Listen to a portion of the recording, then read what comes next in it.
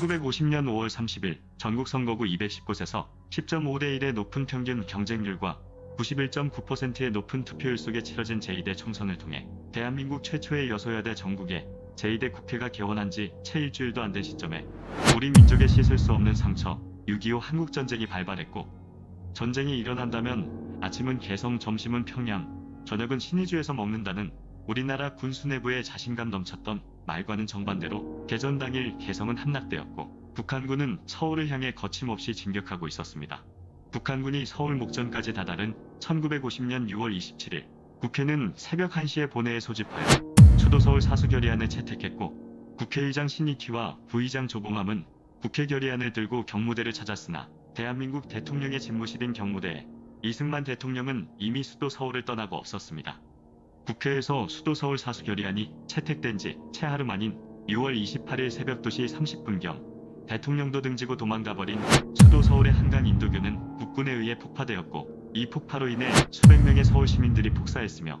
이승만 정부와 군대를 믿었던 대부분의 우리 국민들은 피난조차 못 가고 북한군을 맞닥뜨렸습니다.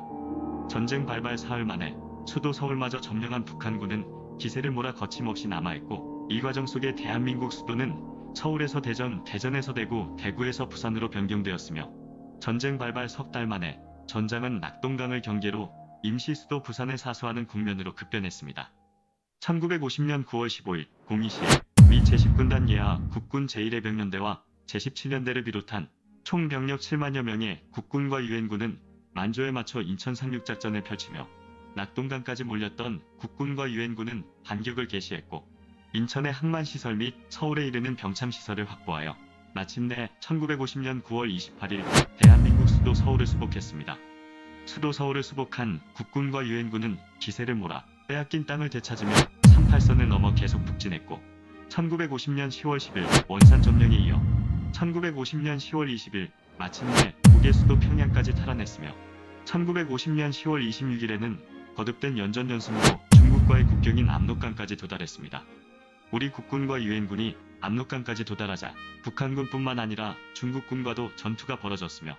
1950년 11월 4일 중국도 한국전쟁 참전을 공식 발표했습니다.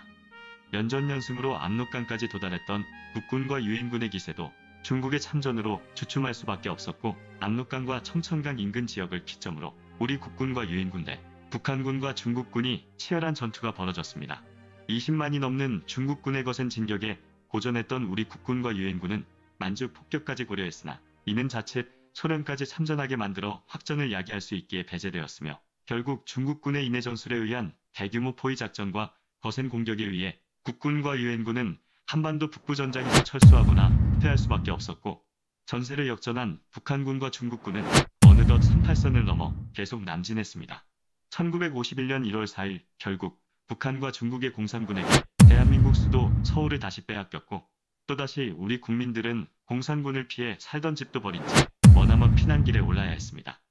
그리고 이 무렵 이승만 정부는 중국까지 가담한 공산군과 맞서 싸우기 위한 병력 확충을 위해 국민방위군 설치법을 공포했고 만 17세 이상 40세 미만의 대한민국 청년들은 나라를 지키기 위해 국민방위군에 적극적으로 참여하여 순식간에 50만 명 이상의 병력이 국민방위군 이름으로 확충되었으며 국민방위군 사령관 김윤근은 대한민국 육군 준장으로 임관되었고 국민방위군 간부진은 주로 대한청년단 간부들로 구성되었습니다. 그러나 이렇게 50만이 넘는 규모로 만들어진 국민방위군도 공산군들과 맞서 싸우기 위한 군대로 거듭나기 위해서는 교육이 필요했고 일사후퇴와 맞물려 공산군을 피해 남쪽으로 이동할 수밖에 없었습니다.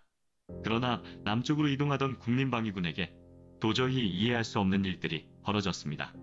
국민방위군에게는 이동하라는 명령만 하달된 채 한겨울 혹한 속에 장거리 이동에 필요한 식량을 비롯한 겨울용 피복이나 군복뿐만 아니라 잠잘 곳조차 제대로 제공되지 않았고 나라를 지키기 위해 국민방위군에 지원한 50만 명 이상의 만 17세 이상 40세 미만 대한민국 청년들은 북한 속의 추위와 굶주림에 시달리게 되었습니다. 이렇게 도무지 납득할 수 없는 상황 속에서도 역경을 딛고 집결지에 도착하게 되면 이 교육대가 아닌 다른 교육대로 가라는 막무가내 밀어내기식으로 거부당했으며 그렇게 군수품도 보급품도 제대로 공급받지 못한 50만여 국민방위군은 북한의 추위 속에서 추위와 굶주림으로 길에서 산에서 얼어 죽거나 굶어 죽어갔습니다. 이로 인해 결국 국민방위군의 이동 중 동사나 아사에 의한 사망자가 9만 명을 넘어섰고 동사와 영양실조 등으로 병든 이들은 헤아릴 수조차 없는 지경에 이르렀습니다. 50만 명이 넘는 대한민국 청년들이 적군과는 싸워보지도 못한 채 길에서 죽어가는 이런 말도 안 되는 상황은 결국 국민들에게 알려지기 시작했고 이승만 정부 또한 사건의 진상조사에 나섰지만 국방부 장관 신성모는 사건을 축소 은폐하는 것에 급급했습니다. 국방부 장관 신성모는 국민방위군 부사령관 유니콘을 처벌하는 선에서 사건을 서둘러 종결하고자 자신의 친구 이성근을 해당 군사법정 재판장으로 임명하고 이 재판을 통해 사령관 김윤근은 무죄, 부사령관 유니콘은 징역 3년 6개월형을 선고했으나 수십만 명의 대한민국 청년들이 길 위에서 굶어서 얼어서 죽거나 다친 이 엄청난 사건을 이렇게 종결하는 것에 국민들은 분노했고 여론은 들끓기 시작했습니다. 결국 이승만 대통령은 국방부 장관 신성모를 해임했고 국회 조사를 통해 사령관 김윤근, 부사령관 유니콘 등 국민방위군 간부들이 방위군 예산을 착복하고 더 나아가 착복한 예산 중 일부는 정치권에게 비자금으로 제공한 사실까지 드러났습니다.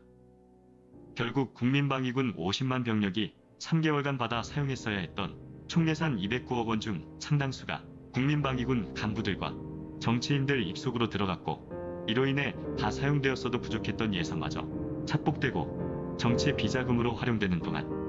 50만여 명의 대한민국 청년들은 길 위에서 산속에서 얼어 죽고 굶어 죽어가고 있었던 것이었습니다. 결국 국민방위군 사령관 김윤근을 비롯한 주요 간부 5명에게는 군법회의에서 사형이 선고되었고 사형 선고한 지 한 달도 지나지 않아 5명 모두에게 공개 총살이 집행되었으나 이들로부터 부정한 정치 자금을 받았던 정치인들에 대한 수사와 처벌은 이루어지지 못한 채 국민방위군 사건은 종결되었고 1951년 4월 30일 국회는 국민방위군 설치법 폐지안을 결의하여 국민방위군을 해산시켰습니다. 수십만 명의 대한민국 청년들이 적군과는 싸워보지도 못하고 죽거나 다친 이 말도 안 되는 엄청난 사건이 고작 간부진 5명을 처벌하는 것으로 마무리되었지만 이 과정 속에서 일어났던 정치적 변화는 결코 작지 않았습니다. 국민방위군 사건 등이 발생하고 이를 처리하는 과정 속에서 이승만 대통령을 비롯한 정부의 안일한 태도에 크게 실망한 대한민국 부통령 이시영은 이승만 정부를 비판하며 부통령직을 사임했고 당시 사건의 실상을 목격하고 분노하여 이승만 대통령에게 직접 찾아가 국방부 장관 신성모에 대한 처벌을 적극 요구했던 내무부 장관 조병옥을 비롯하여 이승만이 국회의장이던 시절 비서실장을 역임하고 이후에는 이승만 정부에서 서울시장과 상공부 장관도 역임했던 당시 대한적 십자 총재 윤보선마저 이승만 대통령과 언쟁을 하는 등 끈끈했던 이들 간의 관계에도 금이 가기 시작했습니다. 이 사건의 최종 책임자로 이승만 대통령이 지목되어 비판받는 상황만큼은 모면하고자 사건을 은폐 축소시키려 했던 남무장관 신성모는 결국 해임되었고 훗날 박정희 정부에서 국무총리까지 역임했던 당시 육군 참모총장이자 국군 총사령관 정일권도 모든 관직에서 물러났으며 신성모 후임으로 이기붕이 국방부 장관에 임명되어 사건 관련자들을 엄벌하며 이승만의 오른팔을 향해 다가가는 발판을 마련했습니다.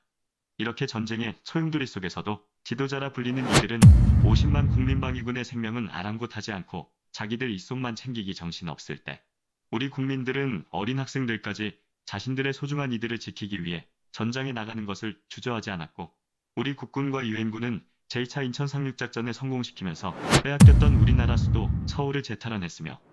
지금 38선을 돌파하여 이북 지역까지 공산군을 몰아냈습니다. 그리고 이 무렵인 1951년 4월 11일 미국 제33대 대통령 트루먼에 의해 유엔군 사령관 메가더가 해임되면서 전쟁은 새로운 국면에 접어들게 되었고 이렇게 한반도 곳곳이 뺏고 빼앗기는 과정들이 되풀이되면서 빨갱이 축출 또는 부역자 청산이라는 이름 아래 수많은 사람들이 소중한 생명을 잃어갔습니다. 다음 편에서는 6.25 한국전쟁 중에 발생했던 보도연맹 흑살 사건을 비롯한 노글리, 삼청, 함양, 거창 등지에서 일어났던 양민 학살 사건에 대해서 말씀드리겠습니다. 끝까지 시청해주셔서 감사합니다. 앞으로도 저희 채널에 대한 많은 관심과 격려 부탁드립니다.